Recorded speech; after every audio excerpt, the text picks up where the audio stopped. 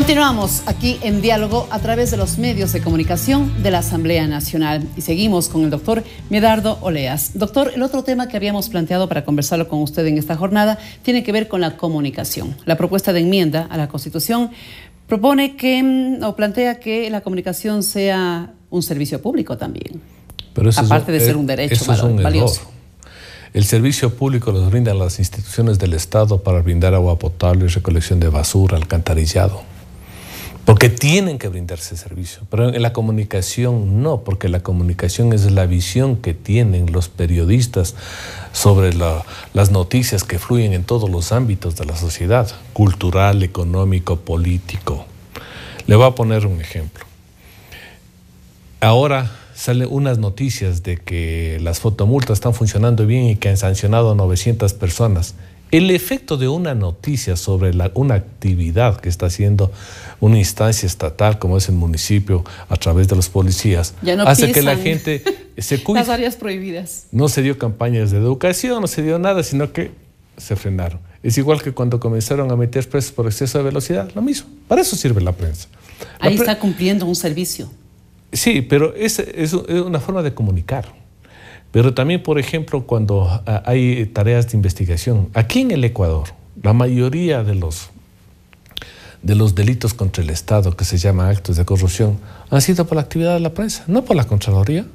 Han sido porque precisamente hay una prensa juiciosa que comenzó a investigar. Y así sucede en el mundo. El caso Watergate en Estados Unidos. Dos periodistas que descubrieron lo que estaba haciendo el señor Richard Nixon no descubrió la CIA ni el FBI, nadie. Descubrieron dos periodistas. Entonces hay que dejar que eso, que eso funcione, porque cuando uno abre un periódico, como le dije, eh, uno ve distintas visiones.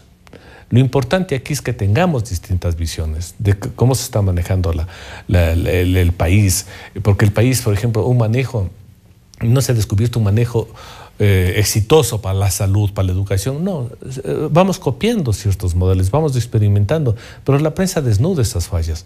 Claro que al poder no le gusta eso, pero ponerle ahí como que es eh, un servicio público, vamos a cometer el error de regular el trabajo de los periodistas y no dejarles, por ejemplo, que conversemos libremente como nosotros estamos conversando. ¿Usted cree que ese peligro encierra el que se le ponga en la Constitución a la comunicación como servicio público? Yo creo que sí. ¿Control? Sí, es que ya tenemos demasiados controles. ¿Qué está haciendo, por ejemplo, la Senacon? Es un control total. Ahora también se desnudó, por ejemplo, eh, con el asesinato de los eh, caricaturistas de Charlie Hebdo en, París.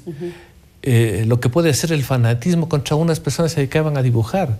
Y es el propio señor Ochoa que dijo que aquí no se puede hacer eso. Pero dijimos, a veces, como le dije, es mejor tener mayor libertad que restricciones, porque sí ayuda, sí ayuda. Mire usted que cuando, por ejemplo, la prensa comienza a decirte que se comete eh, demasiadas infracciones o delitos en un sector, eso lo ve el ciudadano y se cuida. Y lo ve el político que dice, ve, policía, ¿qué están haciendo? Les obliga a tomar ciertas decisiones. Es buena la libertad de expresión, porque la otra sería el control total. No, señor, aquí funciona bien, no hay delincuencia, pues estamos viendo todos los días ahí. Bueno, estos argumentos y otros más también se planteó cuando se analizaba la ley orgánica de comunicación. Se dijo muchas cosas de la ley. La ley está vigente un año Ahí ya consta la comunicación como servicio público y aquí seguimos conversando y seguimos cumpliendo los distintos programas. Sí, pero también se está sancionando a un señor como Bonil por hacer una caricatura, que es un absurdo. Entonces está cometiendo una serie de, de, cosas que van contra la libertad de expresión. Entonces yo creo que, hay que, hay lo que hay que frenar es las opiniones grotescas, insultantes, pero dialogar en una forma cordial, dando argumentos, favorece a lo que se llama la cultura para discutir. Porque ¿quién gana, por ejemplo, en el debate? En el debate gana el que mejor ideas da, no el que más insulta. Entonces yo creo que hay que acostumbrar a la ciudadanía a que analice lo que la versión oficial con la versión que dan los otros medios. Para eso también sirve la política. Les estamos escuchando a los señores de la derecha, les estamos escuchando a los de la izquierda, a los de centro izquierda. Y un ciudadano analiza en definitiva, eh, cuáles son las opciones y vota porque mejor quiere. Es lo mismo en la prensa. Si a mí no me gusta un periódico, no lo compro. ¿Usted plantea entonces que este tema no conste como enmienda constitucional? yo creo que va a cometer un error. se va a cometer un error. Y eh, en definitiva, aquí hemos visto que se ha logrado estructurar un buen sistema de información estatal que está bien. El gobierno tiene todo el derecho de dar a conocer sus obras, pero también tiene la obligación de escuchar a los otros sectores sobre la forma como está manejando el gobierno, porque a veces se comete el error de no tener una visión clara de que ciertas inversiones no pueden ser las más adecuadas. Yo, por ejemplo, si usted me pregunta a mí sobre la hora de las carreteras, yo le digo que está bien, pero si yo hubiera tenido la oportunidad, yo me hubiera opuesto a eso. Porque es preferible tener un sistema de transporte ferroviario que lleve a miles de personas que habilitar carreteras para los que tienen carros. son visiones, pero son visiones. Y para eso está el derecho ciudadano a opinar, el derecho ciudadano para informarme a través precisamente de los medios de comunicación cuál es la opinión de ciertos eh, analistas económicos, políticos, analistas incluso culturales, porque uno, uno se entera de la actividad cultural de la ciudad a través de la prensa. Bien, hay dos de los 16 temas que se plantean en este proyecto. Pero viéndonos de manera general, doctor, he oído mm, varias opiniones en donde dice, ¿para qué esa socialización de un proyecto que va a ser aprobado? Hay quienes se arriesgan inclusive a decir con punto y coma de lo que se presentó por parte del bloque de Alianza País en la Corte Constitucional. Pero eso también encierra un peligro, es decir, si ya se anticipa que eso va a pasar, nos cruzamos de brazo y el último que apague la luz. No creo que debería ser así. ¿Cuál podría ser la actitud? Pero si hace eso los señores asambleístas, ellos le van a hacer un daño al país, un daño a su propio movimiento. Porque la ciudadanía se da cuenta de esto. La socialización está bien, los debates están bien. Y creo que tienen que recoger y encaminar ciertas reformas a lo que necesita el país con una visión de futuro, no con la visión eh, localista del gobierno de turno. Entonces, uno, cuando es un político honesto, responsable, ve el país de aquí a 50 años. Como se les pide, por ejemplo, a los que manejan la, cosa pública que hagan una planificación a larguísimo plazo. Si yo voy de ministro de Educación y solo veo cómo solucionar los problemas en los cuatro años que voy a estar, le afecta al país. La educación requiere educación primaria, secundaria, universitaria, que son más de 12 años. Y entonces yo creo que esa es la visión que pedimos a los señores legisladores que no tengan solamente la visión del momento. Ven cómo cambian las cosas. Mire lo, que ha pasado también históricamente. Solo Venezuela. Venezuela salió de un éxito político con Chávez a un fracaso total con Maduro. Y así son los países. Por eso yo creo que los más estables, los que no toman medidas drásticas, medidas complicadas, reformas conflictivas, son los que mejor les va. No, no hay que tomar esas actitudes a veces que nos pueden causar daño. Y siempre el diálogo, el respeto. Por eso quizás la comisión acepte todas estas cordiales pedidos donde la ciudadanía le dice, señores, no hagan eso. ¿Y esos cambios podrían ser acogidos sin que cambie el fondo de la propuesta? Porque podría caer ya en el campo de la inconstitucionalidad, doctor. Así es, así es, porque como le dije hay que analizar con profundidad. Hay un tema, por ejemplo, que le voy a poner que dice que se está afectando el, trabajo y la labor de la Contraloría si le quitan las facultades para las auditorías.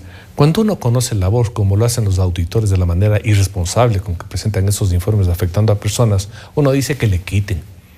¿Por qué? Porque están trabajando mal. Ellos son los culpables de que una reforma se esté discutiendo ahora en la Asamblea Nacional para quitarles la facultad de hacer auditoría. Porque la auditoría no pueden manejarlo de la manera subjetiva con que lo hacen los señores de la Contraloría. Tiene que manejarse de una manera profesional.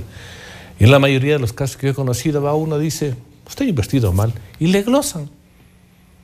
y el pobre funcionario público tiene que estar defendiendo de un criterio particular, subjetivo, de un funcionario que no, le deja trabajar en paz. Por eso todo el mundo tiene miedo a firmar, por si acaso me caiga. La Contraloría. Se tiene la Contraloría como cuco. Entonces, ellos tienen la culpa de que se esté tramitando esa reforma. ¿Por qué no le hacen un trabajo profesional? No de la manera subjetiva como lo están manejando.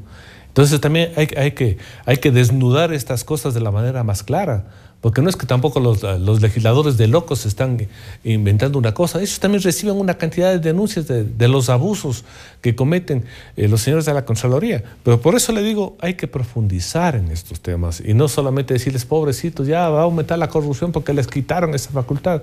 No, busquemos simplemente soluciones para modernizar la legislación pero con un amplio debate que tiene que ser eh, analizado con todos los sectores para que vayamos buscando cuál es el mejor camino para tener no una constitución ideal, pero sí una que viabilice el convivir de los ciudadanos. Y para ello quedan todavía algunos meses que estamos seguros van a ser muy bien aprovechados para tener el resultado que todos anhelamos. Me queda apenas dos minutitos, doctor, y le pido que en esos 120 segundos usted me dio su opinión sobre lo que está ocurriendo en el Consejo Nacional Electoral, aprovechándose de su experiencia como ex vicepresidente de la función electoral de nuestro país.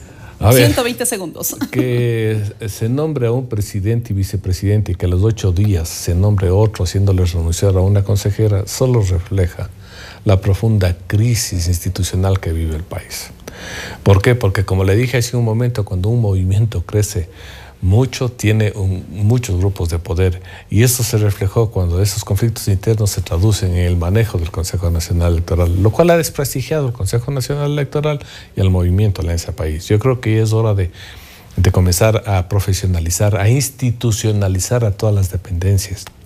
Porque cuando no se tiene instituciones sólidas que permanezcan en el tiempo y en el espacio, vamos a tener esto, que con cada gobierno se cambian a todos los funcionarios y eso afecta a los ciudadanos. Entonces el problema no es el Consejo Nacional Electoral, sino la falta de instituciones sólidas que requiere el país para avanzar. Muy bien, gracias a nuestro primer invitado en el programa del día de hoy, Diálogo, el doctor Medardo Oleas, jurisconsulto constitucional. Será hasta una próxima ocasión. Doctor, tendremos muchos temas que conversar todavía en lo que resta de este año 2015, que todavía está tierno. Siempre las órdenes. Hasta una próxima ocasión. Nos despedimos de ustedes por unos momentos, mensajes importantes y luego volveremos para cumplir la segunda parte de Diálogo y la presentación del asambleísta Byron Pacheco, integrante de la Comisión de Enmiendas Constitucionales de la Asamblea Nacional. Ya regresamos.